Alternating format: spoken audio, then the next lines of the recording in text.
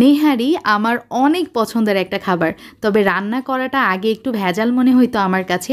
এত সময় ধরে চুলাতে বসে বসে জাল করতে হবে, তারপরে মানে সারাদিন পরে নেহারি খাওয়া লাগবে, এরকম অবস্থা। বাট এখন আমরা যেটা করি প্রেশার কুকারেতে চট জলদি নেহারি রান্না করি, আর এটার মাস্টার হচ্ছে আমার শাশুড়ি মা। সো এই মজার রেসিপিটা আপনাদের সঙ্গে চট জলদি শেয়ার করব। একদম র্যান্ডমলি ভিডিও করেছি, বেশি ডিটেলসে যায়নি আর আজকের আমার ভিডিওটা নতুন রাঁধুনিদের জন্য একদমই ইজি হতে চলেছে।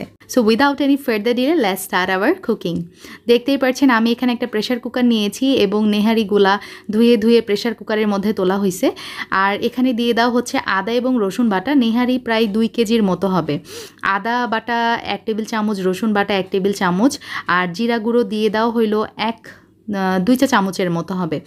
আর মরিচের গুঁড়া আপনার টেস্ট মতো, আমরা দুই চা চামচ দিয়েছি, হলুদের গুঁড়া এক চা চামচ, তার সাথে লবণ দিয়ে দিলাম স্বাদ মতো, দুই চা চামচ আমরা এখানে ব্যবহার করেছি। গরম মশলা দেখতে পাচ্ছেন, এখানে দিয়ে দেওয়া হয়েছে দারচিনি তিনটা টুকরা, এলাচ তিনটা, আর একটা বড় কালো এলাচ।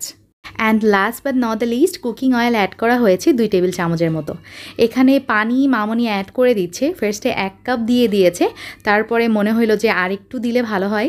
সো আরেক কাপ দেওয়া হয়েছে। দেখতে পাচ্ছেন মামনি নাড়াচাড়া করে দেখছে যে পারফেক্ট আছে কি না তারপরে মামনি দেখার পরে আরও এক কাপ দিয়ে দিয়েছে। তার মানে এখানে আমরা মোট তিন কাপ পানি কিন্তু অ্যাড করেছি।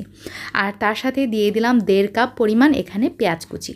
সো সব কিছু এখন একসাথে খুব ভালোভাবে মিক্স করে নেবে এবং চুলাতে এই প্রেশার কুকারটা তুলে দিচ্ছি। আমি প্রায় পনেরো থেকে বিশ মিনিটের মতো জাল করেছিলাম সো বিশ মিনিট পরে দেখতে পাচ্ছেন এই রকম লুকস আসছে, চেহারা দেখেই মনে হচ্ছে খাইতে মন যাচ্ছে।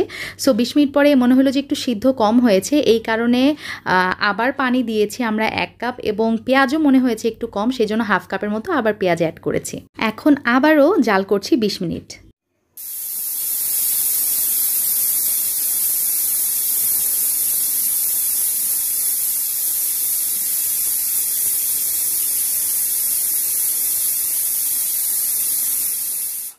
নেহারি খুব সুন্দরভাবে সিদ্ধ হয়ে গেছে। লাস্ট টাচ এই বাগারটা দেওয়া হচ্ছে পেঁয়াজ, রসুন আর তেজপাতা দিয়ে।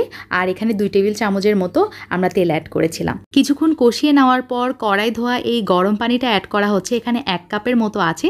সো সব কিছুই দিয়ে দেওয়া হইল এই নেহারির মধ্যে। এখন নাড়াচাড়া করব এবং চুলাতে রাখব প্রায় দশ মিনিটের মতো, একদম লো আছে। অ্যান্ড হিয়ার ইউ গো আমাদের কিন্তু নেহারি একদম রেডি আচ্ছা অনেকে যেটা করে, নেহারির মধ্যে চালের গুঁড়া দেয় বা পাউরুটি দেয়, আমরা এটা করি না। সেই জন্য আমাদের কাছে একটু পেঁয়াজটা মানে আমাদের নেহারিতে পেঁয়াজটা বেশি ইউজ করতে হয়।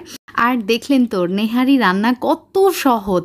বাসায় থাকা কতগুলো সিম্পল মশলা দিয়ে এত যে বেস্ট একটা রেজাল্ট পাওয়া যায়, মামনির এই রেসিপিটা না খাইলে আসলে বুঝতাম না। আমি সবসময় চেষ্টা করি সহজভাবে আমার ভিউয়ার্সের সাথে আমার রেসিপি শেয়ার করার, কারণ আমি বিশ্বাস করি রান্না সহজই হওয়া উচিত। সবাই ভালো থাকবেন। আল্লাহ হাফিজ। আসসালামু আলাইকুম।